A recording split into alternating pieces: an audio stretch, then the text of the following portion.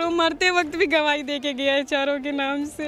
मेरे भाई को चार लोगों ने जान से मार दिया। कल रात के दो ढाई बजे के करीब चाकू से डंडों से उसको वार किया अकेला पाके। जो तीस चौथी बार हुआ उसने बोला था सर हम तो तेरे भाई को मार देंगे। इस बार मेरा भाई मर गया। सिराई चलते राई को थोड़ी ना मार दोगे। अगर कोई वो मारपीट कर रहा है उसको भी एक हाथ थप्पड़ मार के छोड़ देते पर जान क्यों ले लिए उसकी? पहले मैंने तीन बार कंप्लेन दर्ज की अशोक बिहार थाने पे। कोई भी सुनवाई नहीं हुई। क्योंकि अगर 10 साल 15 साल निकलेंगे फिर किसी का मर्डर करेंगे और हम क्यों ना अपनी आँखों से कैसे देखूँगी कि मेरे भाई को मार के और ये आज लोग घूम रहे हैं? कल गया मेरा बच्चा काम करने पीछे से मार दिए। उसने धमकी दिया छूटते ही कि अभी तो तेरे भाई को मारे उसके बाद एक एक करके सबको मारेंगे। हमें बस इंसाफ चाहिए उन चारों को फांसी होनी चाहिए।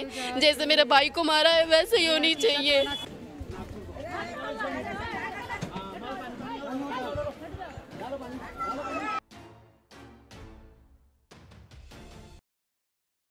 राजधानी दिल्ली में आपराधिक वारदातें थमने का नाम नहीं ले रही। नमस्कार, मैं हूँ आंचल मित्तल और आप लोग देख रहे हैं तेज तर्रार। दिल्ली के आदर्श नगर थाना क्षेत्र से एक दिल को दहला देने वाली घटना हमारे सामने आई। दरअसल एक युवक, जिनका नाम सोनू बताया जा रहा है, उनकी उम्र करीबन 24 वर्ष थी। उनके ऊपर बीते दिन चाकुओं से वार कर दिया गया। इस वक्त हम उनके घर पर मौजूद है, जहाँ पर उनका परिवार भी हमारे साथ मौजूद है। एक बार उन लोगों के साथ जुड़ेंगे और उनसे जानेंगे कि आखिरकार क्या कुछ है पूरा मामला, किस वजह से उनके ऊपर ये वार किया गया। जी आपका नाम? मेरा नाम पिंकी है। क्या हुआ था? मेरे भाई को चार लोगों ने जान से मार दिया। कल रात के दो ढाई बजे के करीब चाकू से डंडों से उसको वार किया अकेला पाके। क्या नाम था आपके भाई का? सोनू। उम्र कितनी थी? चौबीस साल का था। क्या बोल के गया था वो घर से? घर से काम करने निकला था वो। क्या काम करते थे? टेंट का काम करता था। रात के समय का? हाँ दो ढाई बजे ड्यूटी उसकी खत्म हुई। उसको अकेला पाके उन चारों ने मार दिया। जो भी वो चार लोग आप बता रहे हो उन्हें आपका भाई पहले से जानता था? हाँ भाई जानता था। कौन थे वो लोग? यहीं के हैं वो अगर उस, मतलब उसके आ, मतलब इसी जगह के हैं इसी जेलर बाग के हैं वो चारों लड़के। एक तीनों एक भाई हैंगे और एक दूसरा कोई है जिसमें से एक को अभी पकड़ा गया है, जिसका नाम करण है। बाकी तीनों अपने फैमिली के साथ भगे हुए हैं। अच्छा क्या कारण रहा है किस तरीके से हमला किया गया? हमें नहीं पता कि कितनी जान क्यों ले लिए क्या कारण था। अगर माँ मारपीट का ही था तो उसे मारपीट के छोड़ देते तो हम इलाज करा लेते पर उसको जान जब तक उसकी जान नहीं गई तब तक वहाँ से हटे नहीं वो लोग। कि भाई ने पहले कभी बताया था ऐसा कुछ? पहले भी बार हो चुके हैं उसके बाद ये चौथी बार है। बार है ये चौथी बार बार हुआ है। इससे पहले मैंने तीन बार कंप्लेन दर्ज की अशोक बिहार थाने पे। कोई भी सुनवाई नहीं हुई। अशोक बिहार थाना भी कोई सुनवाई नहीं किया। और आदर्श नगर पे भी हमने कंप्लेन किया था। इससे पहले भारत नगर पे भी हमने कंप्लेन किया था। पुलिस कोई भी कंप्लेन कोई कोई भी सुनवाई नहीं कर रही है। मैं यही चाहती हूँ कि पुलिस इससे पहले, अभी तीन बजे मेरे भाई की डेथ हुई। वो चाहते हैं तो एक को पकड़े थे। जो पकड़ा है, वो तीनों का नाम बता रहा है। लेकिन उन तीनों को पुलिस नहीं पकड़ी है। पुलिस बस यहाँ घूम रही है, आ रही है, जा रही है देख रही है। भीड़, बस भीड़ इकट्ठा कर रही है, भीड़ हटा रही है, बस। पुलिस वाले कुछ नहीं करते। मेरे भाई पे चार बार हमला हुआ। जो तीस चौथी बार हुआ, उसने बोला था सर हम तो तेरे भाई को मार देंगे। इस बार मेरा भाई मर गया। अच्छा पहले भी आप बता रहे हो तीन बार हमला हुआ है तो वो किस कारण से हुआ है? कुछ बात थी? क्या बात थी? पता नहीं चलता है ना। ऐसे कैसे तीन चार बार हमला कर दिया? वो लोग मिलते जुलते उसके बाद इकट्ठा होते खाते पीते और वही लोग उसको मारते हैं। फिर वो हमें बताते ही नहीं है कौन है कौन भाई के दोस्त है वो लोग? हाँ जानता है मेरा भाई। जानता है। जानता है लेकिन उसने आज तक नाम वाम नहीं बताया। हमने बहुत पूछा नाम। पुलिस वालों ने नाम वाम पूछा लेकिन उसने नाम वाम नहीं बताया। इस बार का मर्डर उसके साथ हुआ है वो चारों को जानता है चारों के नाम लिखा है वो उसके साथ दीपक था वो भी जानता है वो गवाही में है अभी भरत नगर था आदर्श नगर थाने में उसने गवाही दी है सबके नाम पर और वो मरते वक्त भी गवाही दे के गया है चारों के नाम से। मैं यही चाहती हूँ कि मेरा केस दबे ना मेरा एक इकलौता भाई तो और ना ही दस साल और पंद्रह साल की सजा हो सीधे फांसी सीधे कोर्ट से फांसी का निकलना चाहिए कि इन चारों को फांसी मिलेगी। क्योंकि अगर दस साल पंद्रह साल निकलेंगे फिर किसी का मर्डर करेंगे और हम क्यों ना अपनी आँखों से कैसे देखूँगे कि मेरे भाई को मार के और ये आज लोग घूम रहे हैं? ऐसा नहीं चाहिए मुझे ना मेरा कागज़ दबना चाहिए ना मेरा केस दबना चाहिए। क्या नाम था आपके भाई का? सोनू सोनू नाम था और हम अकेला भाई था मेरा वो। बहुत प्यार करती थी मैं उससे बहुत और वो यहाँ पे आता भी नहीं था तो यहाँ के लड़के वहाँ जाके कैसे मार दिए उसको काम पे? काम की जगह कहाँ पर थी उनकी? थाना कौन सा है ये जिसमें गया मामला? आदर्श नगर। हाँ, मैं यही चाहती हूँ कि उसको जल्दी से जल्दी कार्रवाई हो तीनों को उठाया जाए और कोर्ट तक पहुँचा जाए। चारों को जल्दी से जल्दी कोर्ट तक पहुँचाया जाए। लेकिन ये ना हो कि तीनों गाँव गए हुए हैं मैं नहीं ढूंढ पा रहा मैं ये पुलिस वालों से नहीं सुनना चाहती। अभी तक पुलिस ने आपको आश्वासन दिया है कुछ क्योंकि रात के दो बजे हुए। हमारे पास कोई पुलिस नहीं आई ना ही महिला से कोई बात हुआ हम लेडीजों से ना मर्दों से कि क्या बात है क्या हुआ तो जो ना लिख के गए। कोई समता नहीं दी गई कि हमने पकड़ा है या हम पकड़ने वाले हैं या पता कर रहे हैं कुछ ही नहीं कुछ ही नहीं। अच्छा आपके भाई जैसे आपने बताया कि तीन चार बार हमला हुआ है तो तब भी आपने पुलिस में कंप्लेंट करी थी? कोई एफ़ आई आर वो लोग दर्ज करते तब आपके भाई ने पुलिस में उन लोगों का नाम नहीं बताया था? लिखवाया? मालूम था। पुलिस वालों को मालूम है। हरिंदर नाम था उसका। विजय नाम था उसका। लेकिन पुलिस वालों ने उसको नहीं पकड़ा। उस केस को दबा दिया गया। तीन बार केस दबाई पैसे लेके पचास हज़ार लेके दबाई ये पहले कितने पहले हमला हुआ था? कितने समय पहले? तीन बार हमला हुआ तीनों बार केस दब गया।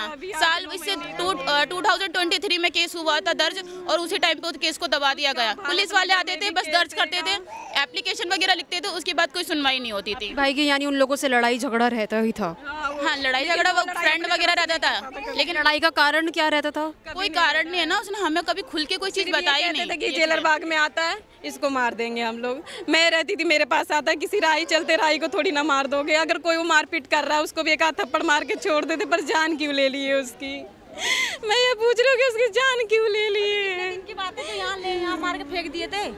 नाले के पीछे। अभी तीसरी बार जो हुआ वो यहाँ पे मार के फेंक दिए थे। उसके बाद भी उसमें हरिंदर का हाथ था। इसमें हमने पुलिस वालों को बताया कि इसमें हरिंदर का हाथ है लेकिन उसको उठवाया नहीं गया और हरिंदर अपने गाँव भाग गया। पुलिस वालों ने इस केस को भी दबा दिया गया। हर केस को पुलिस दबा दे रही है बस पैसे लेके। मैं ये मैं ये कहना चाहती हूँ पुलिस अपने आप को बेच रही है क्या? पैसों से बेच रही है अपने आप को? या फिर कुछ नहीं कर रही है पुलिस? पूरे मामले में जो आईओ है उनका नाम क्या है? मैं जानती नहीं हूँ उनका नाम नहीं जानती हूँ। लेकिन मैं जो भी अभी कंप्लेन दर्ज हुआ है वो भारत नगर थाने पे और अशोक बिहार थाने पे ही दर्ज हुआ है। अब की तीसरी बार जो ये वाला चल रहा है वो आदर्श नगर थाने पे कम पूरे मामले का आईओ कौन है? इसका भी नहीं पता आपको। नहीं ऐसा भी कुछ नहीं मालूम है। मेरा बेटा मुझे ऐसे ही उसको मारना है। मुझे इंसाफ चाहिए। मेरे से चार बार मारा है उन्होंने। एक बार तो उसका मुँह तोड़ दिए थे। एक बार हाथ पैर तोड़ दिए थे। अच्छा इन सब मामलों का आपको कारण पता है? किस वजह से हमला किया जाता था आपके बेटे के ऊपर? मेरा बेटा सिर्फ़ काम करने जहाँ भी जिस रास्ते से जाता था उस रास्ते पकड़ लेते। वजह तो वही लोग जानते हैं। वही बताएँगे कि क्या वजह था मैं तो भी कुछ नहीं बताया ये बोलता है कि मैं वहाँ जाता हूँ तो मुझे मारते हैं। बस यही बोलता है मारता है मारता है। मारते हैं रात भी रात हाँ, कल गया मेरा बच्चा काम करने पीछे से मार दिए। टेंट में कितने साथियों के को लोग रहते हैं कोई नहीं बचाया। पुलिस वाले मेरे मदद नहीं करते हैं मुझे गेट से भगा देते हैं क्योंकि उनको पैसा मिल जाता है। क्यों करते हैं? दिल्ली पुलिस किस लिए इतनी इतनी संख्या किस लिए जो मेरा मदद नहीं करता? आज मेरे बेटा को मारा कल मेरे भाई को मारेगा कल दुनिया को मारेगा कल उसको मारेगा। अभी उसने दिया नहीं। है अभी कितने अभी अभी मारी है। अभी किसको धमकी मिली है? पूरे को मारी दी है, को। धमकी कि, कि मैं अभी दोबारा मारूँगी एक बार मार दी हूँ तो अभी मैं पूरे परिवार को मारूँगी। अभी मेरे अभी धमकी कब? किस समय दी? अभी अभी अभी दस उसने धमकी दिया छूटते ही कि अभी तो तेरे भाई को मारे उसके बाद एक एक करके सबको मारेंगे। जो आरोपी है जो जेल में बंद है। उनके घर वाले उनके रिलेटिव उनकी बहन उसकी मदर उन्होंने अभी छूटते बोला। एक्चुअली उनके हाथ पे चोट भी लगी। अभी हाथावाई भी हुई उन्होंने आके मारा भी है। इसलिए और वो ये कह रहे हैं कि मुझे पुलिस वुलिस से डर नहीं लगता मैं पैसे दे के छुड़वा लूँगी अपने बेटे को। उसने ये बोला छूटते ही। और अभी तो भाई तुम्हारे भाई को मारा है उसके बाद एक एक करके सबको मारूँगी।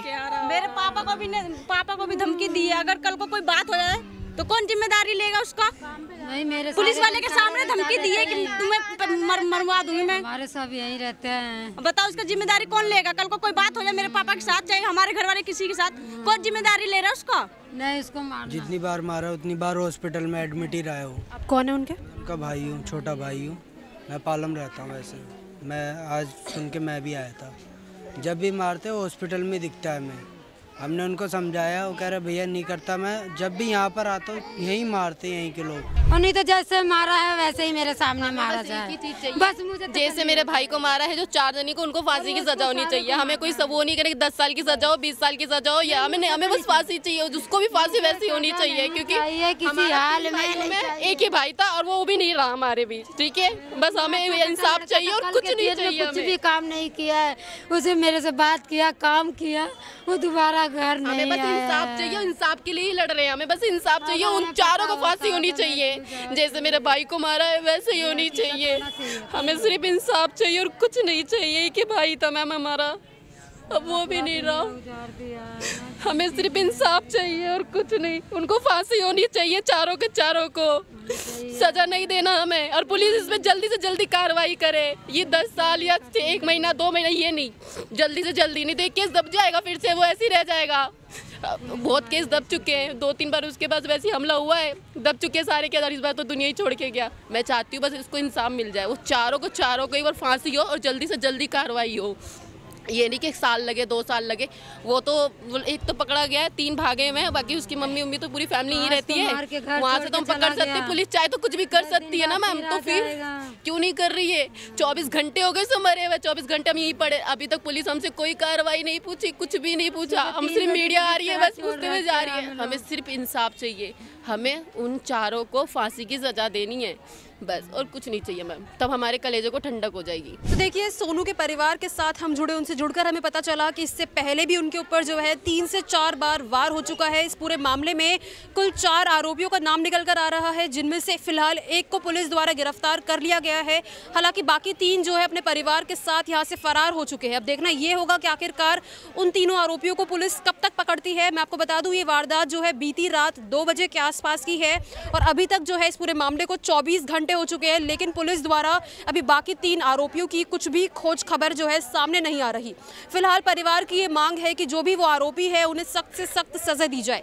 लेकिन जो इस पूरे मामले में एक सवाल खड़ा हो रहा है, वो ये खड़ा हो रहा है कि आखिरकार जब तीन से चार बार पहले सोनू के ऊपर हमला किया गया था, उन्हीं शख्स द्वारा जो इस वक्त आरोपी इस पूरे मामले में बताए जा रहे हैं, पुलिस द्वारा जो है उस वक्त कोई एक्शन क्यों नहीं लिया गया? आखिरकार उन लोगों को गिरफ़्तार क्यों नहीं किया गया? आज जो है उसका रिज़ल्ट सामने ये आया कि सोनू की इस वक्त मृत्यु हो चुकी है। उन चार लोगों द्वारा उसे चाकुओं से गोद कर मार दिया गया है। अब आप लोगों की इस पूरे मामले को लेकर क्या कुछ राय है हमारे साथ? कमेंट बॉक्स में ज़रूर शेयर करें। कैमरा पर्सन पंकज के साथ मैं आंचल मित्तल। अगर आपको हमारी ये वीडियो पसंद आई हो तो इसे लाइक एंड शेयर करना बिल्कुल न भूलें। इसके साथ ही हमारे चैनल को ज़रूर सब्सक्राइब करें। और हाँ बेल आइकन भी ज़रूर दबाएँ ताकि दिल्ली से जुड़ी तमाम खबरों की नोटिफिकेशन सबसे पहले आप तक पहुँचे।